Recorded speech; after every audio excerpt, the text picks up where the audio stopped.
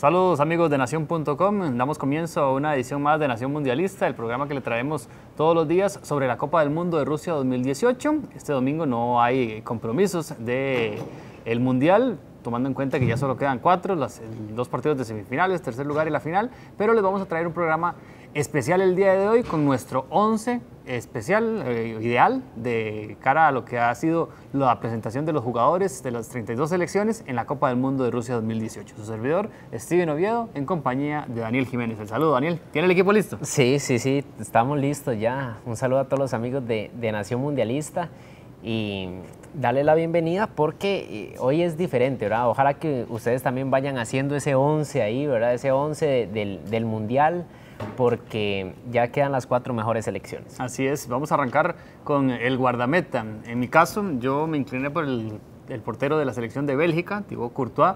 Me parece que ha sido determinante en el equipo de Bélgica, especialmente en el partido frente a la selección de Brasil, ¿verdad? Con eh, tapados al final del partido para mantener ese 2 a 1. En el caso suyo, Daniel. En el mío, el croata, Daniel Subasic. ¿Por qué? Porque prácticamente mucho se dice de Modric, pero también gracias a él y los penales que ha podido atajar, la inteligencia emocional que ha tenido ese jugador para, para soportar incluso estar lesionado unos minutos en el último compromiso y aún así ser figura.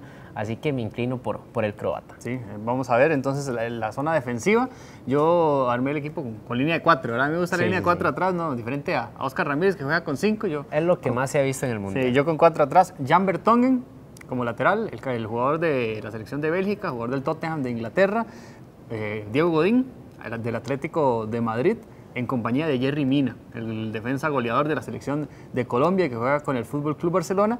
Y mi otro lateral es Kieran Trippier, el jugador del Tottenham Hotspur que juega con la selección de Inglaterra. Entonces, Bertongen, Godín, Mina y Trippier. Vamos a ver cuántos tiene usted, Daniel, de esos. Sí, lo hicimos diferente. Bueno, esa es la idea. ¿ah?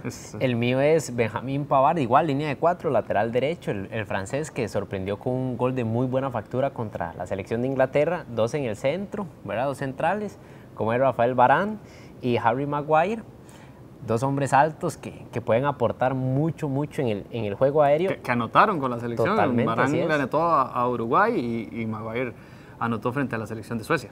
Y me incliné por la lateral izquierda con Strini el, el, croata, la verdad que lo ha hecho bastante bien. Y un trabajo silencioso, ¿verdad? Por eso fue que, que, lo escogí. Ha hecho un trabajo silencioso, pero, pero muy, muy, muy bueno. Sí, a mí el de más perfil bajo que de los que tuve la oportunidad de escoger, eh, me, gusta mucho ese Kieran Trippier. ¿verdad? Es un jugador que tal vez no teníamos tan referenciado eh, dentro de la selección de Inglaterra y le da mucha profundidad por el costado al equipo de Gareth Southgate. Desde mi punto de vista es de los mejores defensas de bajo perfil, porque hay otros que ya conocíamos. Como usted puso, por ejemplo, a Barán, yo puse a Godín, son jugadores que, que ya conocemos, pero en el caso de, de Trippier o el lateral que se escogió Daniel, son, son jugadores importantes. Vamos al medio del campo.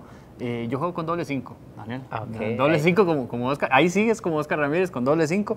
Eh, Casemiro, el hombre del, del, Real Madrid, creo que le hizo una falta enorme a Brasil en el partido frente a la selección de Bélgica. Fue determinante, le da muchísima solidez al medio campo, acompañado por Engolo Kanté, el jugador de, del Chelsea de, de Inglaterra, otro que, que es calladito. Ese, es de los tal vez de más bajo perfil de, de, Francia, ¿verdad? Es un jugador, no es, no es Pogba, no es Mbappé, no, es ninguno de esos, sino eh, un jugador que cumple específicamente su función y la media ya la completo con Luka Modric, jugador de, del Real Madrid, y Eden Hazard, ¿verdad? Él es futbolista del Chelsea de Inglaterra. Ahí sí tenemos algunos repetidos. Yo sí juego con solo un, un contención, en este caso es Engolo Kanté, es el jugador que más balones ha recuperado en la Copa del Mundo con 52.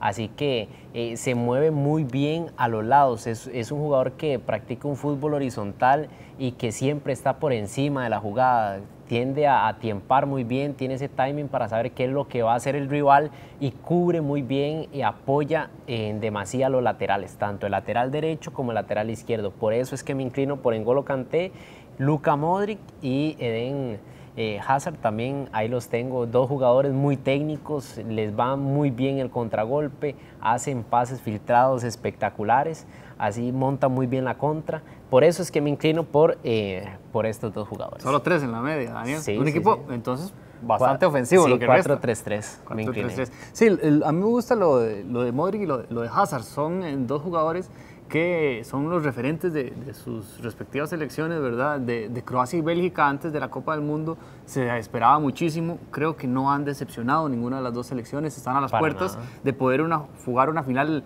eh, entre ellos, de acceder por primera vez a, una final de la Copa del Mundo. Entonces son dos futbolistas que, creo que se merecen el, puesto y son de los poquitos que, que, repetimos, Daniel. Sí, no, y cuidado y no, si alguna de esas selecciones queda campeona, eh, podría estar el balón de oro en alguno de ellos. Sí, yo creo que tendría que ser Croacia, ¿verdad? Para considerar a Modric. Yo a Hazard, eh, por su temporada con el Chelsea, que es distinta, ¿verdad? A la, a la, de Modric con el, con el Real Madrid, sí lo veo más, más complicado. Pero si Modric gana la Copa del Mundo, eh, fácilmente se le puede considerar el, el mejor futbolista de, de, este año, ¿verdad? Eso es una determinación que, que tomará la FIFA al, final de la, al finalizar el año, pero eh, Modric estaría siendo puntos importantes. Vamos a la parte ofensiva. Yo juego solo con dos, Daniel. Usted va a jugar con tres, no importa, un poquito más, más ofensivo que, que yo. Pero yo me quedo con Kylian Mbappé, el jugador del eh, Paris Saint Germain, eh, pretendido por muchos. Se dice que podría en algún momento pasar a, al Real Madrid. Eh, es el que ha liderado a la selección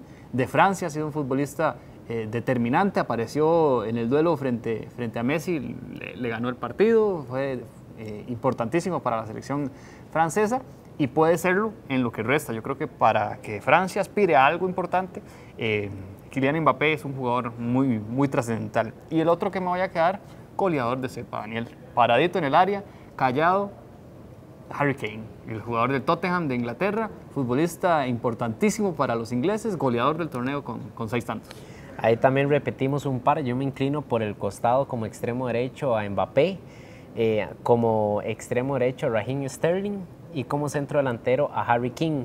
Eh, la velocidad, este es un equipo que, que yo armé, es un equipo mucho de contragolpe y es un equipo muy veloz por los costados, ¿verdad? Con Mbappé, con Sterling, creo que esos jugadores que tienen esa potencia de, de tener eh, la picardía para hacer un, sprint en 30, 20 metros y ya empiezan a sacar diferencia para centrar a, a Harry King o para servir a Harry King en este caso que es mi 9, mi centro delantero la pensé mucho esta porque estaba Lukaku también, ¿verdad? Era complicado que, fue lástima, al menos que yo lo dejara por fuera, pero bueno, es el goleador del Mundial, Harry King, que los ha anotado de penal, sí, pero son goles y, ahí tienen a, este, a este, tridente ofensivo, ¿verdad? ¿Qué tal? ¿Cómo lo ve? No, me parece que, que usted es más a, una tendencia que hemos visto en, equipos como Francia, como la selección de, de Uruguay, del, contragolpe rápido, ¿verdad? Con futbolistas, como usted lo menciona, de mucha, mucha rapidez. Yo tal vez es un juego un poquito más, más cauto, más posicional. Habría que enfrentarlos, ¿sabes? Habría lo que, enfrentarlos. Pasa es que hay unos que tenemos igual. Sí, tal vez en juegos de video podríamos eh, enfrentarlo, a ver qué, qué tal esos equipos, Daniel.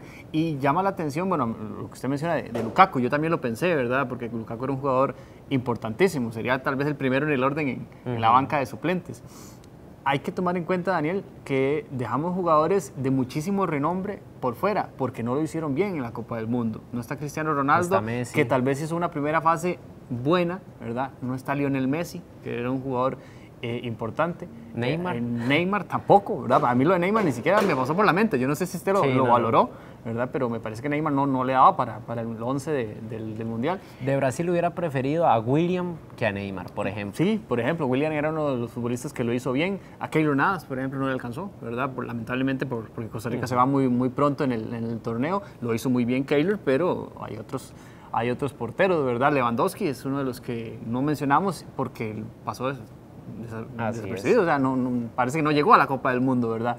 Entonces, hay 11, ojalá que los, los, amigos que están observando el, el, video de Nación Mundialista en nación.com nos dejen dentro de sus comentarios sus equipos, ¿verdad? Para ver cuáles son los mejores eh, jugadores, los mejores 11, quién está más acertado, si usted o yo, Daniel, para que obviamente la gente eh, nos deje sus comentarios. Y que también nos digan cuáles son los 11 con, con los que ustedes harían su, su equipo ideal de esta Copa del Mundo que ya lamentablemente nos está llegando al final.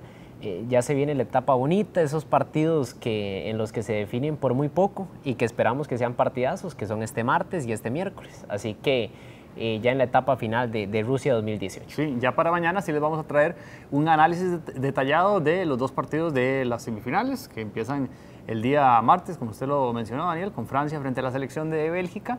Y el día miércoles se conocerá ya la final de la Copa del Mundo cuando Croacia enfrente a la selección eh, de Inglaterra para los partidos que se realizarán el sábado por el tercer lugar y el día domingo en la final de la Copa del Mundo. Finalizamos una edición de Nación Mundialista. Recuerde que nos pueden encontrar en nación.com o en el Facebook de la Nación.